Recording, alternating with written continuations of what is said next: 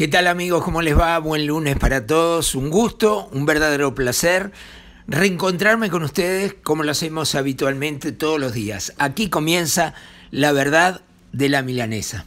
Mi nombre es Jorge Bonica y mi teléfono es 098-344-228 para quienes quieran sumarse a esta columna de opinión que todos los días hacemos con entusiasmo y mucho coraje. Muchas veces me dicen a mí que hay que cambiar el sistema político, ¿no? Eso lo escuchamos tantas veces. ¿Y cuántas veces escuchamos a candidatos de todos los partidos? Vaya, si habré escuchado en los últimos 30 años a tantos candidatos que aparecen, dice, eh, hay que cambiar la forma de hacer política. ¿ah? Después terminan atornillados en una banca si la consiguen y votando todo lo que tiene que votar el sistema. Porque hablemos claro, uno de los problemas más graves que tenemos es quien quiere ingresar a la política porque la siente, porque es vocacional. También están aquellos payasos que dicen, tengo la vocación de servicio. ¿Cuántas veces escuché esa frase, no?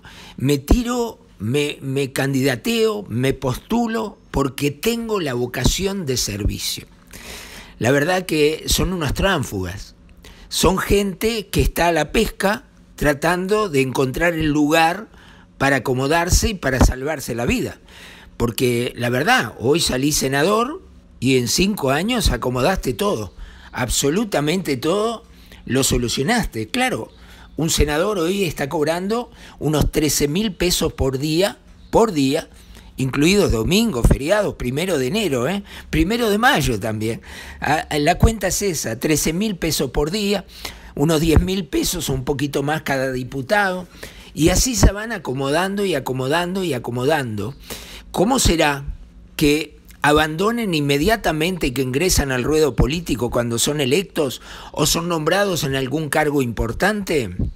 Abandonan sus carreras universitarias, sus títulos universitarios, los cuelgan y nunca más a los abogados los ves en un juzgado, al arquitecto haciendo planos, nunca más aparecen en sus estudios, los cierran, definitivamente los cierran, como lo hizo presidente de la República, ¿no? Como lo hizo eh, Julio María Sanguinetti, o lo hizo Luis Alberto Lacalle. Y hay muchísimos ejemplos de esto. Acá lo que hay que lograr para cambiar, y pongan atención, porque estamos proponiendo, es juntarnos la gente de bien, la gente honesta, la gente que quiere cambiar, que ama a nuestro país, que tiene compromiso con nuestro país. Y eso hay mucha gente, hay mucha gente que lo siente de corazón y esa es la gente que tenemos que meter adentro de ese nefasto sistema político que nos ha gobernado y administrado nuestro país durante décadas, décadas y décadas. ¿Y cómo se logra? Y se logra animándose, se logra yendo al terreno. De afuera lo vamos a acorralar. Miren lo que está haciendo el campo. Me da vergüenza a mí ver algunos políticos haciendo declaraciones, unas declaraciones estúpidas, como nunca a mí en mi vida, intentando simplemente acomodarse, ¿no? Acomodarse. Miren el Twitter que puso Verónica Alonso. Practicar el diálogo y buscar consensos con el que piensa distinto. Hoy el campo nos necesita a todos. Miremos más allá escuchemos sus reclamos, busquemos soluciones en conjunto. No podemos darle la espalda a uno de nuestros motores productivos. Y usa el hashtag yo estoy con el campo.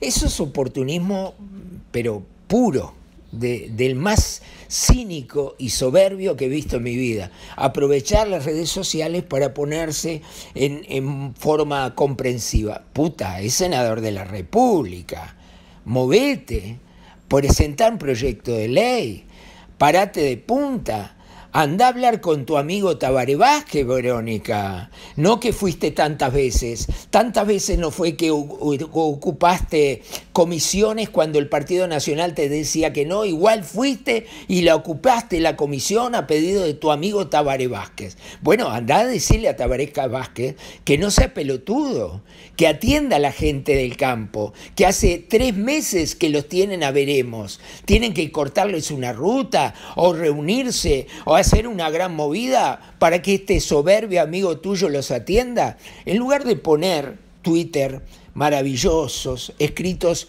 que suenan para los oídos como una poesía, ponete los pies arriba de la tierra y decirle a tu presidente, como te gusta decirlo, que atienda a la gente del campo.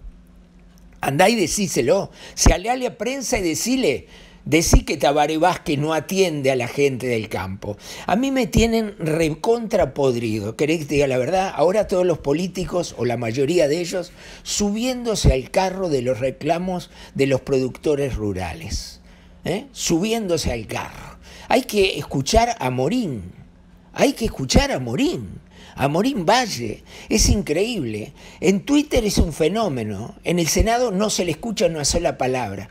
Eso es lo que hay que cambiar. Gente como esta, oportunistas que han vivido la política siempre. Siempre han vivido la política. Yo no quiero ni pensar cuánto hace que Amorín Valle es diputado y después senador. ¿Cuántos años lleva? ¿Cuánto lleva la calle Pou? ¿Cuánto lleva la Rañaga? ¿Cuánto lleva todos? Porque hay, hay tantos que son intendentes, después son diputados, vuelven a ser intendentes, están 10 años de intendente, después como no pueden volver a ser electos, son candidatos a diputados. Y están 5 años allí levantando la mano para el que los puso en la lista. Porque esa es la verdad y eso es lo que tenemos que terminar de una vez por todas que nuestra gente, la gente del movimiento Basta Ya, realmente sea electa y no cambie. No haya disciplina partidaria, no esté por el sueldo, esté proponiendo, esté investigando, esté diciéndoles basta en la cara a esta manga de energúmenos que están subidos una banca eternamente. Qué lindo sería, ¿no? Poder estar ahí y decirle, Heber, no jodas más, andate para tu casa, llevas 35 años acá, al pedo no hiciste nada, no hay nada. El día que te mueras no se te va a recordar por nada, simplemente por el récord mundial de haber estado 35 años subido al carro del Palacio Legislativo. Hay que terminar con este Palacio Legislativo lleno de acomodados, permanentes acomodados. Acá nadie habla. Yo veo que el campo dice no nos dan los números, ¿no? Estamos trabajando a pérdida. Los impuestos son atroces. Eso lo sabemos todos. Y lo sabe la educación, y lo sabe la inseguridad, y lo sabemos todos. El Frente Amplio nos ha traicionado, esto está claro. El principal traicionero es Danilo Astori. El cínico más grande y soberbio es Tabaré Vázquez. Estamos en manos de ellos. Estamos en manos de ellos. Ramoncito, a ver si tiene usted alguna de las cosas. A ver, la gente del campo. Esto que está circulando en internet. ¿Eso es lo que tiene Ramón? Sí. Escuchen a Danilo Astori en el año 89 haciendo una poesía como la de Verónica Alonso diciendo lo que hay que hacer con el campo, porque los malos de los colorados y los blancos los tenían enterrados. Escúchenlo, por favor. Acá está. 50 años que la producción agropecuaria del Uruguay está estancada. Nuestro campo tiene una inmensa riqueza al alcance de la mano. Es urgente comenzar a aprovecharla como se puede y como se debe, Escuchen, ¿eh? asegurando la presencia en la tierra de los que la aman y saben trabajarla. Más de 50.000 productores agropecuarios esperan los créditos que nunca tuvieron, un sistema tributario estimulante y una comercialización que los empuje a crecer. Lástima no vieron el video. Si lo ven, miren los gestos de este cinismo. Miren los gestos, hablando de que eh, todo lo contrario a lo que hizo él. Todo lo contrario a lo que hizo él. Él asfixió al campo y daba esos discursos maravillosos. De memoria lo sabía. actuaba en el video que lo hace 50 años y los créditos y los tributos. Él, él hizo mierda al campo, al comercio, a las ciudades, a los transportistas. Los camioneros están fundidos. Los camioneros no dan más, tienen un capital brutal y prefieren tenerlos, muchos de ellos, parados sacaron las chapas para no pagar la patente ni seguro y los tienen parados porque ganan más teniendo parado el capital que teniéndolo circulando en las rutas, por el precio del gasoil, por el precio del dólar, porque es toda una mentira. Son unos farsantes del primero al único, al último. Miren, Tabaré Vázquez hace tres meses, tres meses nada más, decía esto, y este hijo de mil puta, mire. Estamos trabajando fuertemente en el tema tarifas para ver si eh, podemos eh, definitivamente, como decíamos realmente, eh, bajar el precio, el costo de las tarifas, no solo para la gente en general, sino también para ir ayudando a nuestra producción, a nuestras empresas, para eh, que mejore su competitividad. Se habla de tarifa eh, de los combustibles. Y tarifas en general. Y eléctrica también. Y eléctrica también. Qué cinismo, ¿no? Qué cinismo. Si tendrá razón lo que dice Gustavo Salles. Y yo se los voy a recordar, viejos delincuentes que nos están gobernando. Cuando ustedes eran jóvenes, daban un diagnóstico adecuado. Lo que sucede es que cuando llegaron al gobierno, por coimeros se vendieron y siguen aplicando un modelo económico que genera delincuencia, que genera marginalidad. Eso los convierte en viejos delincuentes, traidores y travestidos. Travestidos. Eso es lo que son. Son unos travestis. Y travesti por lo que les decía al principio de la audición. Porque se acomodan, porque llegaron al poder porque ganaron muy buena plata, porque se enriquecen, porque están en Punta del Este, porque tienen autos cero kilómetros, porque viajan por el mundo, porque se visten con ropas muy buenas, de marca, porque pueden mandar sus hijos a los mejores colegios. Por eso, por eso es que hay que cambiar y hay que hacer un cambio radical en la forma de decir las cosas cuando se es político. Y la única manera de cambiarlo es meterse adentro. No hay otra. Y tenemos que meter adentro a los jóvenes brillantes que tenemos. Hay jóvenes brillantes que tienen los huevos y los ovarios muy bien puestos, como para decir basta, como para decir no, eso no se tiene que gastar así. Esto no se puede gastar así. Esto es malversación de fondos públicos y si lo aprueban así, lo voy a denunciar en, la justicia eh, para que los, eh, los investiguen y los metan en cana. Con la plata de los uruguayos no se juega, no se juega. Mire, si serán sinvergüenzas, si serán sinvergüenzas, sinvergüenzas, la verdad, sinvergüenzas, que hemos tenido que escuchar las cosas más increíbles, más increíbles. Escuchen esto, lo tiene Ramón ahí. Esto es Danilo Astori cuando brillantemente trajeron a Campiani para hacerse cargo de Pluna. Miren lo que decía este cínico sinvergüenza que terminó en un defalco preso. Esto es lo que decía el señor Danilo Astori. No hace tanto, ¿eh? Acá está. Firmar el acuerdo para la suscripción de acciones entre el Estado. Conferencia de prensa. Anónima, Pluna, ente autónomo con Leadgate Investment Corporation. Leadgate Corporation. Nos ha acompañado, como ustedes saben, en esta firma el señor presidente de la República. Sí, cómplice número uno. Vázquez. Este es un proceso. Miren profesional. Profesional. Este es un proceso que a diferencia de algunos que se han realizado en el pasado, recorre todas las etapas que debe recorrer un proceso de este tipo.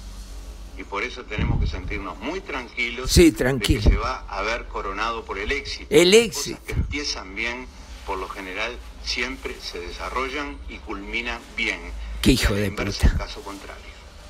Qué hijo de Muy bien, puta. muchas gracias a todos. De esta Qué hijo de por puta. concluida la conferencia. ¿Se da cuenta? Diciendo que fue profesional tener Campiani.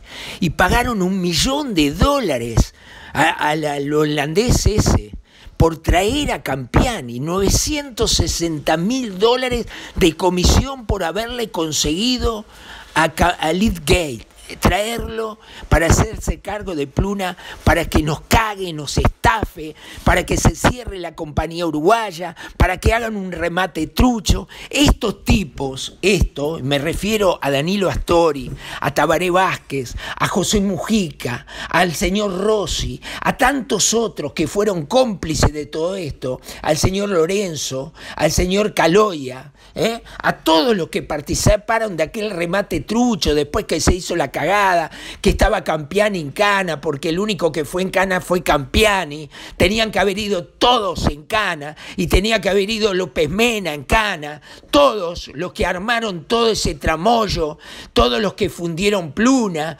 porque el señor Sendic, siendo presidente de Pluna, aceptó que Campiani em, eh, haga una deuda de combustible de 20 millones de dólares. ¿Y eso qué? Nadie lo sabe. Está en la justicia. ¿Cuándo la justicia se va a expedir? ¿Cuándo va a mandar en cana a un montón de gente con Sendic a la cabeza por todo lo que hizo con, con ANCAP? Lo que colaboró con la fundir Pluna, con lo que hizo con las tarjetas corporativas. Este es el país de no pasa nada. No pasa nada. Dejan pasar el tiempo. La burocracia del Poder Judicial deja pasar el tiempo. Y esta manga de sinvergüenzas sigue, sigue y sigue siendo travesti, como dice mi amigo Gustavo Salles. Y yo se los voy a recordar, viejos delincuentes que nos están gobernando. Eso mismo, viejos delincuentes que nos están gobernando, verdaderos travestis, son travestidos, se han vendido, lamentablemente se han vendido. Y la oposición deja mucho,